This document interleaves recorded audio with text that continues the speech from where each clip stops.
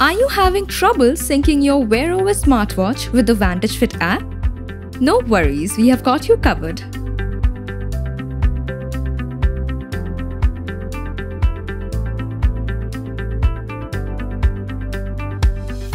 Step 1. Install or update Google Fit.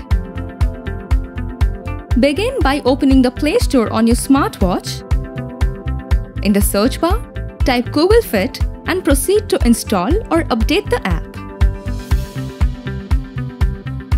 Step 2. Configure Google Fit settings. Launch the Google Fit app on your smartwatch. Next, tap on Settings. From there, navigate to Edit Profile and select the same email ID you want to set up with Vantage Fit. Step 3. Connect Vantage Fit. Now, switch to the Vantage Fit app on your phone, tap on the profile icon and go to Settings.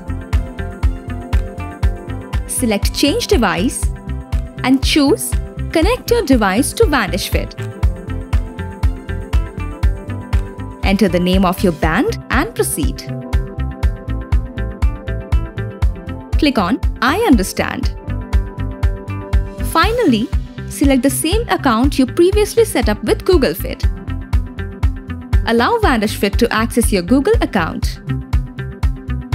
And there you have it.